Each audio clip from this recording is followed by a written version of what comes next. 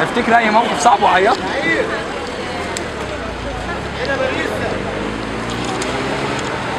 خلاص كده ماشيين طيب شكرا